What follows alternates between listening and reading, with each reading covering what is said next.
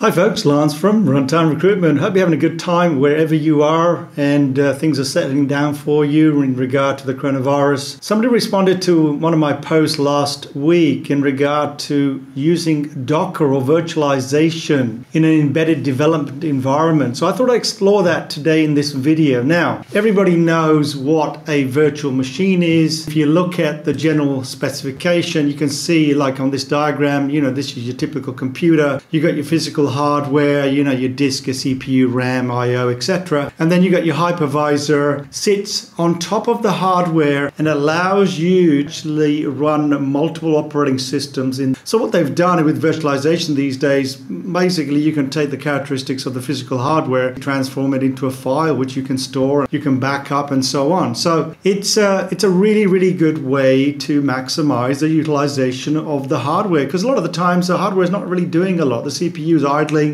The RAM may be utilized in full, but definitely the CPU is not is normally underutilized in a typical environment where you're just running your your average operating system with the apps on top of that. So if we go to a virtual environment, this is what it is, and most people know what a virtual environment is: VirtualBox and VMware, etc. So you can do that on your desktop. So why am I talking about this for the embedded environment? But the thing is, the thing to remember is that I'm sure some of you guys have already considered this, and there are already people that are telling me that they're using Docker As a way to keep some of their uh, development environment in a container so they can restore and back it up and so on. So, this is really, I want to extend this out a little bit. Now, what are the advantages of using a virtualized environment in, in an embedded systems development situation? So, nowadays you have to deal with not just firmware development, but you have to connect that to some sort of a web service. So, you might have to connect it to some sort of web server. You can load that up in a container or a VM as your test environment while you're developing your firmware so that the firmware can talk through your virtualization environment to a web uh, interface and that's running also locally to you. The other thing is you could actually have many instances of your development environment. Let's say you're on one processor, let's say you're on Windows. Most development these days, a lot of firmware development is done on Windows host and now it's moving more and more towards Linux. There are some people using OS 10 as their development environment, but most of it's done on Windows. So imagine you have a tool chain for a particular chipset and you've actually installed installed it on your Windows machine and you've set it all up, you want to keep that. You know, you want to keep that as a backup just in case something goes wrong. You want to be able to restore that very, very quickly. Now, in a virtualized environment, once you've done that, you can back that up as a snapshot and carry on with your development. Now, imagine that you had to then switch to another chipset, another tool chain. You could then have another instance where you could install that tool chain and you could even run those things concurrently in a, in a virtualized environment. Plus, you could run all of the web services as well in, in containers or VMs. So all these things can be connected together and they can all be in a virtualized environment which you can restore and back up and so on. So it's a fantastic way to accelerate your workflow using a virtualized environment. So to that effect, what I've done is I found a particular piece of software which creates a virtualized environment for your PC effectively, your desktop. And nowadays desktops are pretty powerful. Desktops normally have eight cores, they have lots of of RAM, 16, 32 gigs of RAM, and heaps of storage space, normally SSD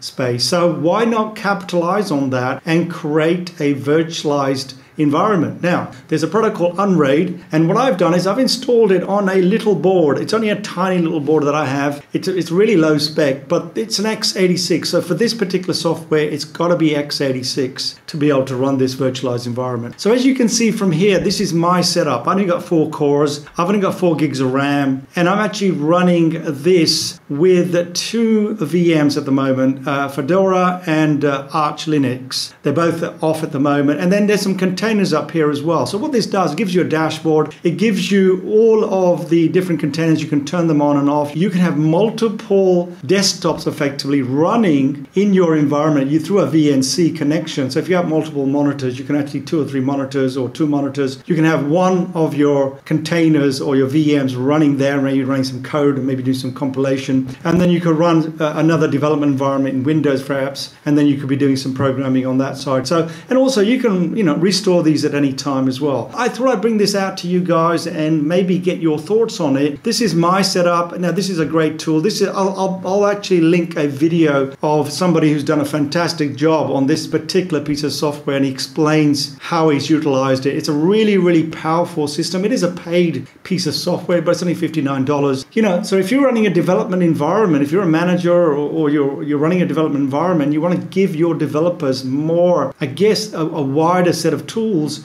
Perhaps you want to think about a virtualized development environment where they can even share containers. So once you've got this, let's say a default container set up for your development environment, you could have that as a file somewhere. So when someone jo- new joins, all you got to do is restore that and they're basically up and running straight away with all the tools configured and you know they, they can start working straight away. So this is just one of the thoughts I, I had in response to that post when someone said they were using Docker container as a means to uh, improve their development workflow in an embedded environment environment. This is what happens with my VMs. So these are the VMs at the moment. So if I want to add a VM, I just go in here and I can select a particular VM. I, I, can I can select any number of different types of Windows installs. Obviously, you need the images to be able to upload, uh, you know, it, it into this virtual environment, and of course all these different flavors of Linux, and also you can have a custom install as well if you wanted to. And apps, you know, there's a whole swag of apps. I've got a few loaded, but you know, here's a whole library of of containers. These are Docker containers that can actually be loaded very, very quickly and configured. Uh, it's got uh, a lot of tools as well here that you can do configuration with. It's a really nice interface as well. Uh, you can also specify users as well. You can actually add more multiple users, so you can actually distribute this across many users if you wanted to. So have a look at this. This is a really, really good tool, perhaps for you guys to consider. Maybe development managers, you want to think about this. Perhaps uh, look, the thing is, it's 59 bucks, and it's really, really worth looking at It's in the way of improving or accelerating your workflow, when new people join. It's already ready, set set up and it's ready to go. No, no, no configuration required. Somebody's already done that. They created a container or a VM and it's on some sort of a server. You just download it and you stick it on and it's ready to go. The other thing is you're giving the developers more power, and more flexibility to run multiple operating systems and they can run many tools within them and they can do testing within them as well. So something to ponder, guys. Let me know what your thoughts are in the comments field. Let me know if this is a sort of thing that perhaps might be useful eh, as, as a tool in the embedded tool chain to accelerate workflows. See you next one. Cheers.